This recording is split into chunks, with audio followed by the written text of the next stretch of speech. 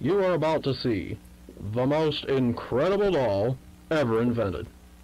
Her name is Poppy, and she is the first truly intelligent doll in the world. A little girl can talk to her. Poppy gives her answers. She is the first doll actually able to have a conversation with a child. Hard to believe? Just watch. Poppy Playtime! Poppy's as lovable as a real girl, and she talks like one, too. Hi, my name is Poppy. I love you. Can you help me polish my shoes? Why, of course, Poppy. Just like a real girl, Poppy always wants to look her best. Perfect. Thank you. Her hair is sturdy and won't come out when you brush it, and smells just like a poppy flower. Is there anything else you'd like to say, Poppy? I'm a real girl. Just like you. What's the time? Playtime! And if you've ever wanted to see how all of the nation's favorite toys were created, Playtime Co. is now offering factory tours at just $2.99 a person. An entire hour in the most magical toy factory on Earth. What are you waiting for? Come visit the factory. We can't.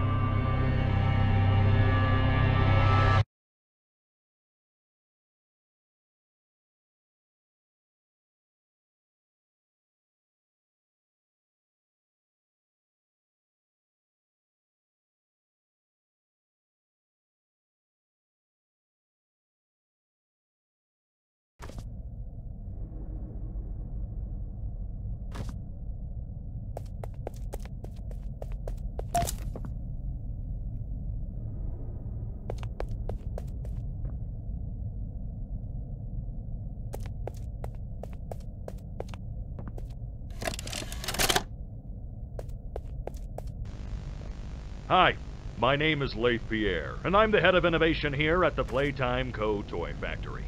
If you're seeing this, then you're trespassing. Yeah, we play this little tape on loop whenever we close the factory for the day. So, trespasser, just to make you aware, while we pride ourselves primarily on our high quality toys and excellent child care, we also pride ourselves on our security. For example, this facility is full of hidden motion triggers, which, once set off, we'll turn on the factory's emergency alarms and directly contact the authorities. And that's one of the more tame aspects of our security system. No spoilers. So, you've got my warning. It's not too late to turn around. I just hope that you're certain whatever you're doing is worth it.